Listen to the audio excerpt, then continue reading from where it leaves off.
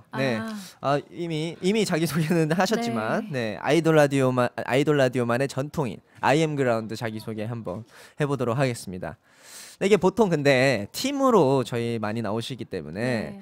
이제 각자 한 번만 별명을 말을 하면 되는데 네. 효민 씨는 오늘 혼자 오셨잖아요. 네. 그래서 세 번 말하는 네. 걸로 한번 진행해 보겠습니다. 네, 감사합니다.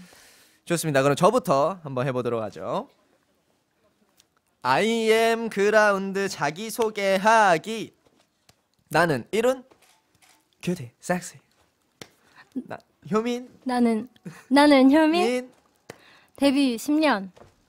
나는 이룬 DJ 이다. 나는 효민 체력 딸려. 나는 이룬 나도 딸려.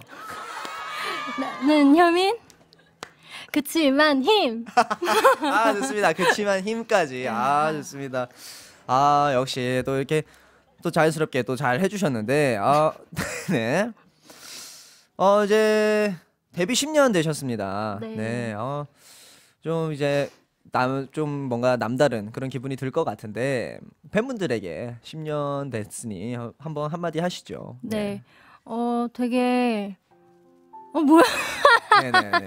지금 밖에 뭘 팬분들이? 보고 계시거든요. 네. 어, 어 저희 팬 우리 네. 팬들은 어 10년 동안 저희가 고생한 것보다 더 많은 고생을 네. 했다고 생각을 해요. 그래서 아, 네. 네 너무 힘을 내줘서 고맙고 네네. 그리고 또, 또 팬들이 되게 뭐라 해야 되지? 되게 네네. 단단해요. 아 그렇죠. 그래서 이런 노래 가지고 울지 않을 거예요.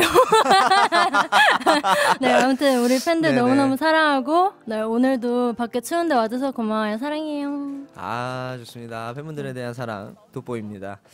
어 그리고 또 체력 달린다고 네. 하신다. 네 체력이 왜 네 뭐 그러니까요. 네네 왜 그럴까요? 아 요새 조금 힘드신가 봐요. 네. 네. 아 준비한 동안 네네네. 몸도 여기저기 아프고 아 그랬어요.